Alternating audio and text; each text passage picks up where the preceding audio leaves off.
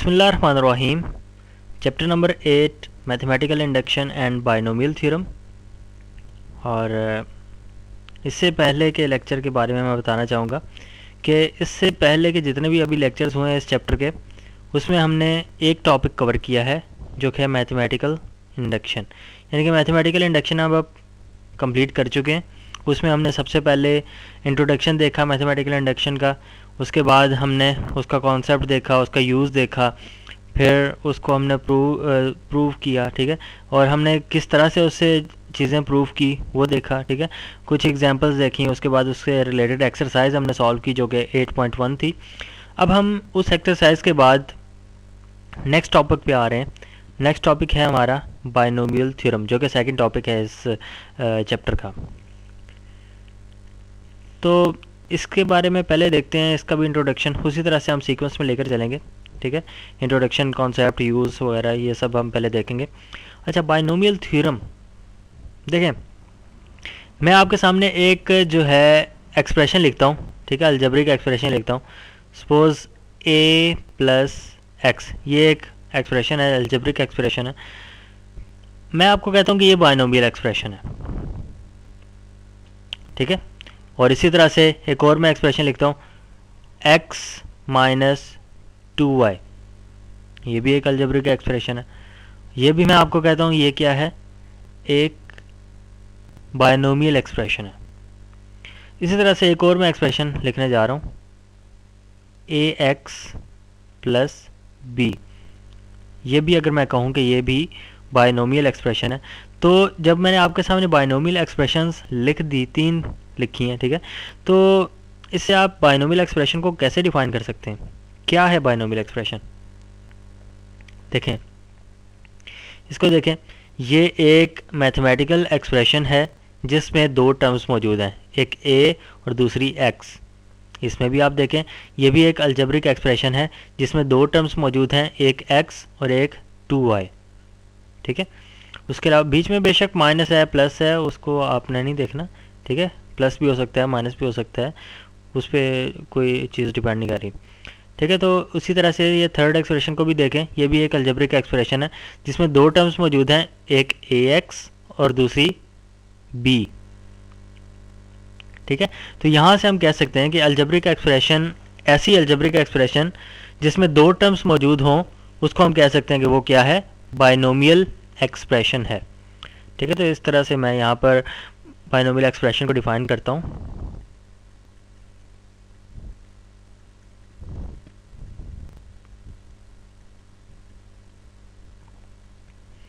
An algebraic expression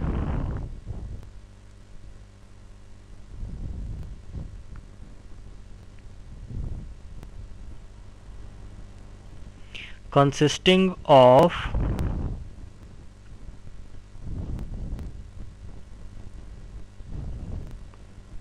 two terms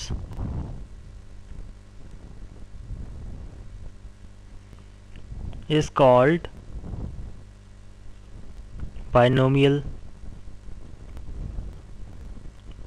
और binomial expression उसे हम बाइनोमियल भी कह सकते हैं, सिर्फ़, ठीक है? और बाइनोमियल एक्सप्रेशन भी कह सकते हैं। तो ये सिंपल सी डेफिनेशन है। जो कि हमने पहले समझा, उसके बाद हमने उसको डिफाइन कर दिया अपने वर्ड्स में, ठीक है? तो क्या है binomial expression an algebraic expression consisting of two terms is called binomial expression अच्छा बाइनोमियल एक्सप्रेशन तो आपने देख लिया। अब मैं आपके सामने एक इक्वेशन लिखने जा रहा हूँ। देखिए, जो हमने बाइनोमियल एक्सप्रेशन लिखी, उसी की मैं इक्वेशन लिखूँगा। ए प्लस एक्स इसका मैं स्क्वायर ले लेता हूँ, और ये किसके इक्वल होता है? ए प्लस एक्स का अगर आप स्क्वेयर ओपन करें, ठीक है तो ए का square plus two A X plus X square इसी के इक्वल होता है ना ए प्लस बी का होल स्क्वेयर अगर आप वो अप्लाई करें तो।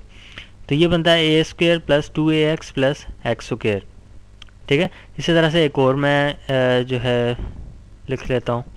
ए प्लस एक्स का क्यूब इज़ इक्वल टू ये किसके इक्वल होता है? A cube plus three A square X plus three A X square plus X cube ठीक है तो ये दो इक्वेशंस आपके सामने नज़र आ रही हैं। लेफ़्ट साइड देखें और फिर उसके बाद राइट साइड देखें। लेफ़्ट साइड पे आपको क्या नज़र आ रहा है? अभी हमने पढ़ा कि ए प्लस एक्स क्या है? बाइनोमियल एक्सप्रेशन है। ठीक है, इसको हम कहेंगे, ये क्या है? बाइनोमियल एक्सप्रेशन अच्छा ये तो A plus X binomial expression हो गया। उसके ऊपर आपको पावर नज़र आ रही है। जिसको हम कहते हैं इंडेक्स इंडेक्स या फिर पावर भी कह सकते हैं, ठीक है? अच्छा ये तो लेफ़्ट साइड है। बायनोमियल एक्सप्रेशन पे एक पावर थी, ठीक है? उसको हमने एक्सपैंड करके लिखा। एक्सपैंड करने के बाद हमारे पास जो है राइट right साइड बन गई। और इस राइट साइड को आप देखें तो एक्सपेंडेड है, ठीक है? इसका फार्मूला हमने ओपन किया है, इसको एक्सपैंड किया है। तो एक्सपैंड करने के बाद हम इसको क्या कहेंगे? किसको एक्सपैंड किया है? बाइनोमियल एक्सप्रेशन को एक्सपैंड किया ना? तो बाइनोमियल एक्सपेंशन इसको बोलते हैं, ठीक है? इसको बाइनोमियल एक्सपेंशन बोलते हैं, ठीक है? इसी तरह से आप सेकंड एग्जांपल को भी देखें। ए प्लस एक्स इसमें आपको जो है बाइनोमियल एक्सप्रेशन नज़र आ रही है। थ्री जो है इस केस में इंडेक्स थ्री है, ठीक है? और उसके अलावा ये एक्सपेंड होके ये हमारे पास राइट साइड बनी है, जिसको हम कहेंगे बाइनोमियल एक्सपेंशन अच्छा ये चीज़ें आपके माइंड में होनी चाहिए, तभी आपको आगे मज़ीद हम इसी टॉपिक को लेकर चलेंगे और आपको बाइनोमियल थ्योरम जो है वो समझ आएगा, ठीक है?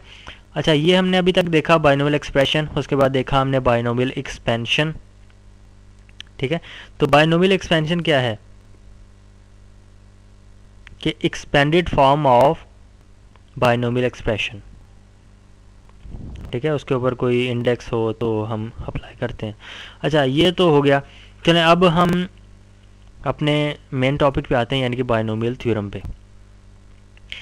देखें, जो रूल हमने अप्लाई किया है बाइनोमियल एक्सप्रेशन को एक्सपेंड करने में, या जो फार्मूला हमने अप्लाई किया है, ठीक है? ये देखें ना, ये बाइनोमियल एक्सप्रेशन थी, इस पर हमने एक फार्मूला अप्लाई किया और इसको हमने एक्सपेंड कर दिया। या फिर आप इस इस तरह से कह सकते हैं कि हमने एक रूल अप्लाई किया बाइनोमियल एक्सप्रेशन पे और हमने इसको एक्सपेंड कर दिया। तो वो रूल और वो फार्मूला जिसको एक्सपेंड जिससे हमने एक्सपेंड किया है, जिससे हमने एक्सपेंशन की है बाइनोमियल एक्सप्रेशन की उसको कहा जाता है बाइनोमियल थ्योरम। ठीक है? तो जनरली मैं लिखूँगा द रूल और formula for expansion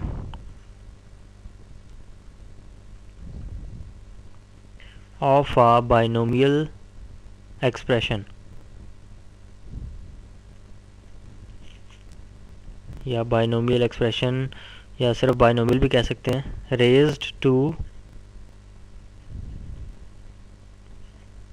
any power ठीक है? पॉजिटिव पावर होनी चाहिए। Any positive integral power power थी ना उसके ऊपर ऊपर आप देखें तो ये in positive integral power N is called binomial theorem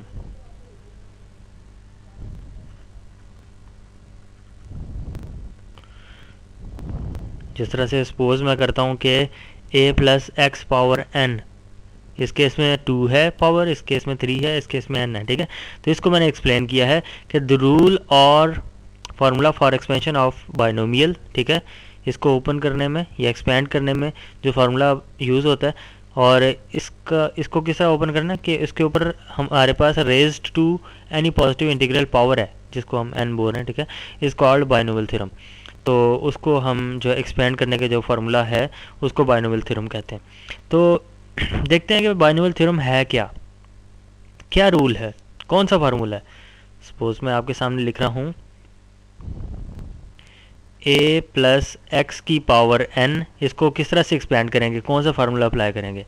तो मैं आपके सामने लिखता हूँ एन सी ज़ीरो कॉम्बिनेशन पहले पढ़ चुके हैं ना? उसी को मैं यहाँ पर यूज़ करूँगा। N C zero into A power N plus N C one into A power N minus one और साथ में एक्स एन की पावर को कम करते जाना है एक्स की पावर को बढ़ाते जाना है, ठीक है? अगर यहाँ पे भी मैं एक्स लिखूँ तो ये ज़ीरो है। Plus N C two A power N minus two X power two और इसी तरह से आगे पावर जो है चलती जाएगी और नेक्स्ट वन हमारे पास आएगा। मिडल टर्म कोई आएगी, ठीक है? N C R into A power N minus R into X power R plus so on इस तरह से आगे टर्म्स चलती जाएँगी। और लास्ट में हमारे पास जो टर्म्स आएँगी N C N minus one into A into X power N minus one A पर वन है और X power N minus one है। Plus last term N C N और X power N A power zero और x power N तो ये देखें, इसको समझने का आसान तरीका कि एन जो है वो तो पावर है, ठीक है? उसके साथ हमने कॉम्बिनेशन लिखना है N C zero N C one N C two यानी कि वो इंक्रीज़ होती जा रही है इसके नीचे, ठीक है? एन सी एन तक। एन तक एन से शुरू हुए, ठीक है? नीचे ज़ीरो से शुरू हुए और एन तक जा रहा है। उसके अलावा आप साथ में क्या लिख रहे हैं? ए और एक्स साथ मल्टीप्लाई करके लिख रहे हैं, ठीक है? ए और X A X A X नज़र आ रहा है। और उसकी पावर्स कैसे हैं? ए की जो पावर है वो एन से स्टार्ट होगी, यानी कि जो मैक्सिमम पावर है ये एन उससे स्टार्ट होगी ए की पावर और एक एक का डिक्रीमेंट आता जाएगा और एंड पे ज़ीरो तक जाएगी, ठीक है?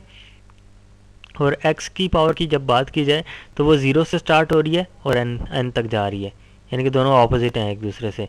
ये यहाँ से n से स्टार्ट हो रही है, ये यहाँ से n से स्टार्ट हो रही है x की पावर ठीक है? तो ये है इसको समझने का तरीका। तो इसको आपने याद भी रखना है, ठीक है? तो इसको हम प्रूव भी करते हैं। ये है बाइनोमियल थ्योरम इसको मैं कहूँगा कि ये क्या है? बाइनोमियल थ्योरम ये बाइनोमियल थ्योरम क्यों है? क्योंकि ये एक बाइनोमियल एक्सप्रेशन को एक्सपैंड करने का फार्मूला है, या उसका रूल है, ठीक है? तो इसलिए मैं इसको बाइनोमियल थ्योरम कहूँगा। अच्छा अब बाइनोमियल थ्योरम तो हमने देख लिया। अब क्या ये बाइनोमियल थ्योरम ठीक है? यानी कि ट्रू है फॉल्स है? किस तरह से हम कह सकते हैं? किस बेस पे कह सकते हैं? देखें, हमने देखा था इससे पहले कि हम किसी भी चीज़ को, यानी कि किसी भी एक्सप्रेशन को, या किसी भी स्टेटमेंट को, हम प्रूव कर सकते हैं मैथमेटिकल इंडक्शन को यूज़ करते हुए। ठीक है? तो उसी से हम इसको प्रूव कर सकते हैं। तो चलें, उसको प्रूव करते हैं हम। मैथमेटिकल इंडक्शन तो अभी आपको याद होगा ना? तो उसमें दो कंडीशंस होती हैं। सबसे पहले मैं कहूँगा कि जो गिवन स्टेटमेंट है वो एस ऑफ़ एन है, ठीक है? Let S of N be the given statement तो फिर पहली कंडीशन पर आ जाते हैं। पहली कंडीशन क्या होती है कि एस ऑफ़ वन हमने प्रूव करना होता है, ठीक है? यानी कि एस ऑफ़ वन जो है वो ट्रू है। तो एस ओ वन का मतलब क्या है? जब N is equal to one होगा, ठीक है? जब N is equal to one होगा तो एन की जगह जहाँ जहाँ पर एन है, वहाँ वहाँ पर हम वन पुट कर देंगे।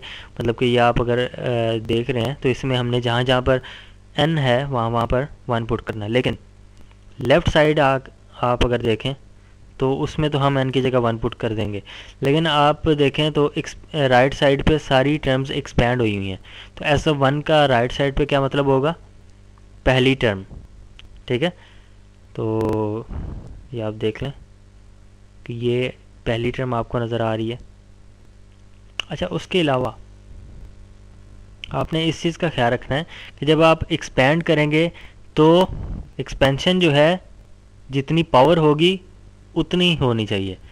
मतलब कि एन ये पावर एन आपको नज़र आ रही है ना तो यहाँ पर लास्ट में एक्स की पावर एन तक जानी चाहिए। एन से इंक्रीज़ नहीं होगी एन प्लस वन नहीं होगी, ठीक है?